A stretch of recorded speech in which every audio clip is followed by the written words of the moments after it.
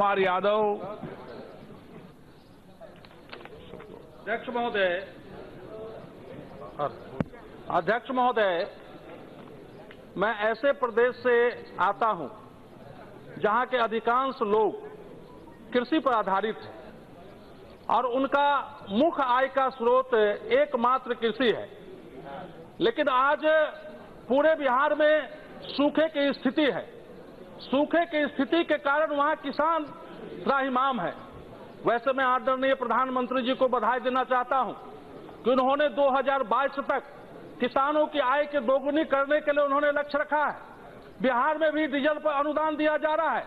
लेकिन अध्यक्ष महोदय, मैं ऐसे क्षेत्र, मिथिला के क्षेत्र मधुबनी से जीत के आता हूँ, जहाँ के अगल बगल के इलाकों में सिर्फ़ दो ही फ़सल होते हैं।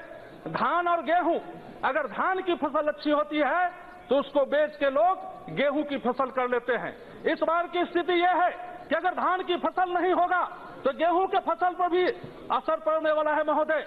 मैं आपसे आग्रह करता हूँ, सरकार से आग्रह करता हूँ कि बिहार सरकार से कोई बात करके अभी जो तत्काल, जो सुखाड़ की स्थिति है, किसानों को राहत देने के लिए कोई ठोस उपाय किया जाए। बहुत बहुत धन्यवाद।